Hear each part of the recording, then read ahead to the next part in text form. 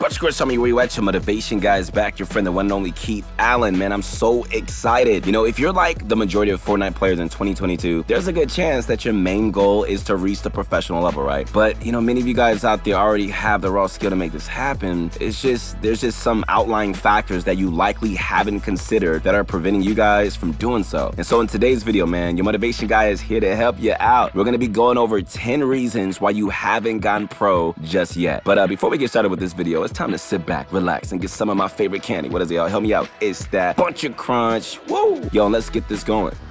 All right, so to start out today's video, we're gonna talk a little bit about mentality. I talk about this all the time, man. In order to go pro in any game, man, you need the right mentality. Everyone say mentality. That's it. You know, this is a huge roadblock in the Fortnite community, especially considering the fact that player base tends to be a bit younger. Many of you guys out there already have what it takes to go pro, but you tell yourself otherwise. You don't believe in yourself. And, and if you hold the belief that you aren't good enough and things are not gonna work out, you just simply are not gonna come out on top. Like you need to be confident in your abilities as a player. You got to know deep down, man, that your goals are going to become a reality. And this means you need to be entering tournaments with confidence, fighting players without doubting yourself, and overall just staying positive. You know, we promise you guys that the sooner you start to believe that you can go pro, hey, the quicker you probably will.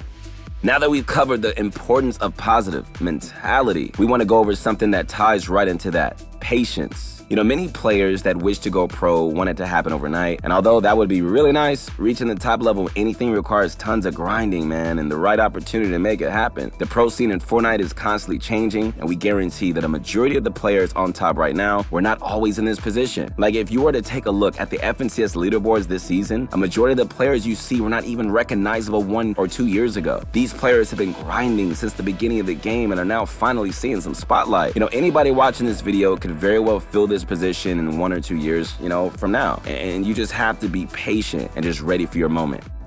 All right, guys, so fitting right in with our first two reasons today is a lack of accountability. This is a direct result of poor mentality and it's something that needs to be fixed if you guys want to reach the top level. You know, for a majority of time, when players who lack accountability end up dying in one of their games, they'll just immediately look for an outlying factor to pin the blame on. Like anything from in-game lag, glitches, or the opposing player's playstyle will be used as a scapegoat to prevent themselves from feeling like they've actually made a mistake. Like if you hold the belief that you're never doing anything wrong, I mean, you're you're just not going to be able to improve, period. Okay, the main source of improvement in Fortnite is learning from your mistakes, guys. So if you're unable to admit when you've done something wrong, I mean, how are you ever going to improve?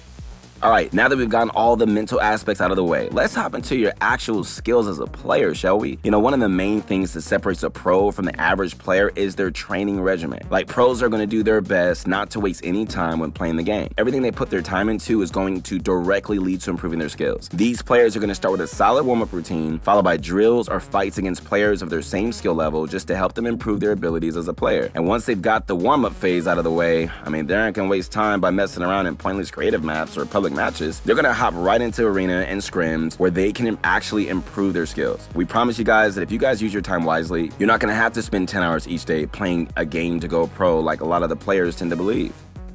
You know, similar to a proper training routine, you need to be incorporating some form of aim training in your daily mix as well. You know, many players will avoid training their aim thinking that, you know, playing the game alone is enough to improve it. While this is partially true, guys, taking just 15 or even 20 minutes to get some strict aim practice is going to improve your game like huge, I'm telling you. This can be done through a number of different ways. Like for you controller players out there, you won't have as many options, but in-game creative aim trainers like Raiders 464's map or or just really any for that matter will be enough to make some solid improvement. Keyboard and mouse players, I'm telling you right now, you're gonna have the ability to train in separate training programs like Aim Lab, where you can focus on realistic drills that's gonna help you guys, you know, tracking and flicks and overall, you know, mouse control. You know, we definitely recommend giving Aim Lab a shot, as it definitely has helped our pro coaches and other pro players improve their aiming abilities. All right, speaking of our coaches, make sure to head on over to ProGuides.com, where we've got an army of pro players ready and waiting to teach you everything that you need to know about Fortnite. Hey, so you can improve fast.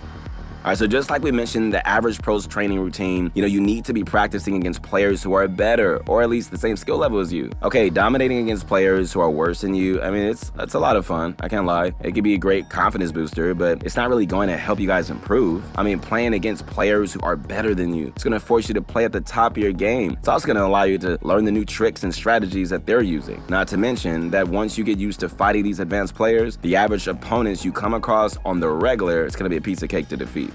Although you may have what it takes to go pro, you've likely struggled to find teammates on your same skill level who share the same goals as you. You know, since the mode for all of 2022 is going to be duos, you're going to need a teammate who's willing to grind with you all year if you guys want to make some noise in the FNCS. And it can be very challenging to find solid teammates for yourself if you don't have many accomplishments in your resume. You know, players are mainly going to search for people with notable placements along with a good amount of earnings and PR. And we all know how difficult it can be to really get these things when you're constantly switching up teammates and missing qualifications. So, you know, your best bet is honestly just to put your full attention into solos, get your placements under your belt. You know, we're not saying to skip out on FNCS, but just grinding out solo cash cups can be a great way to improve your resume and you could just really find the duo you deserve.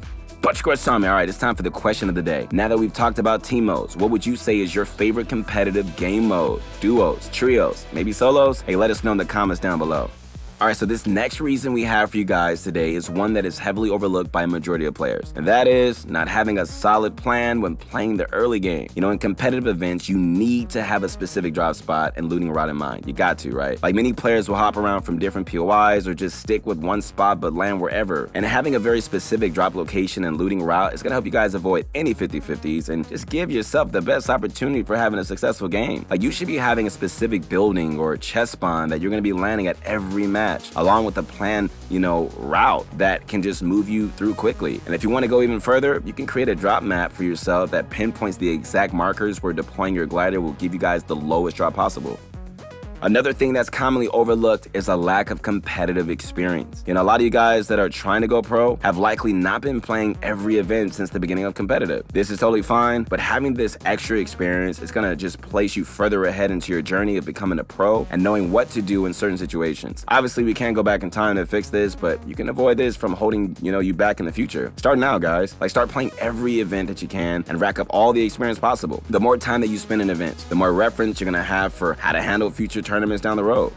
Similarly to our previous reason, a lot of you guys lack the knowledge of how to plan finals, or even semifinals lobbies. You know, unlike the beginning of competitive Fortnite where everything was practically one open event, nearly all the events we play today will have two or three or even four rounds. And so these different stages of events are played very differently, and it's gonna require some experience to know the best strats to use in them. So being in a set lobby of 100 players in a solo cash cup final round is drastically different from the opens round. You know, anything from storm surge, off spawn routes, and in-game rotations are going to function much differently. But like we mentioned before, guys, you know, playing every event that you can is going to increase your chances of making it to these later stages and therefore speed up your journey of becoming a pro player. But squad summon, that's going to be it for today's video. Hope you guys liked it, man. Apply these tips. I'm telling you, it can change your life. And once again, this is Your Motivation Guy. Connect with my Instagram, which is Your Motivation Guy. Also, feel free to leave a comment and just let us know if there's anything that you would be interested in learning more about. And just remember, man, becoming a pro player is not easy, but hopefully after today's video, you were able to realize what may be holding you back. We'll see you on the next one. Peace.